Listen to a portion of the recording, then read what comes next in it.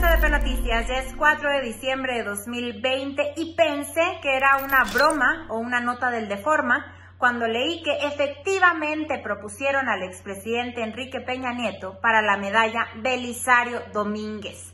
Pero no, todo parece indicar que sí es verdad. Y en medio del escándalo, de la estafa maestra, del caso Oderbrecht y de que ni siquiera sabemos dónde está Enrique Peña Nieto, ahora resulta que es candidato para la máxima distinción que otorga el Estado mexicano y el Senado de la República. Y es que esta medalla se le da a aquellos mexicanos que se han destacado como servidores de nuestra patria o de la humanidad.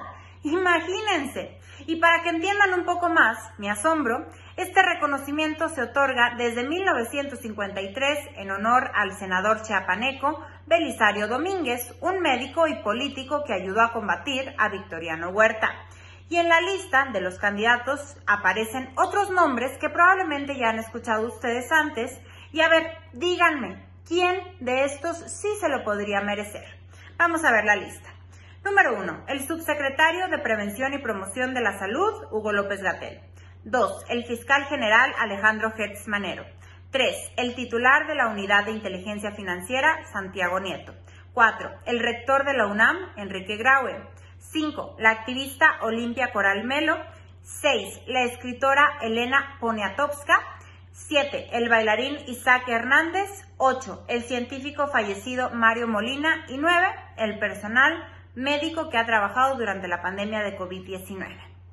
Pero bueno, ahí ustedes me dirán. Y también hay que decir que esta lista es muy larga. Son más de 1.700 personas propuestas en el Senado. Y ahora hay que esperar a ver por quién van a votar y quién se lleva esta medalla en 2020. ¿Cómo la ven? Así las cosas en México y luego dicen que por qué estamos como estamos. Feliz fin de semana. Yo soy Marta Solís para SDP Noticias. すげえ。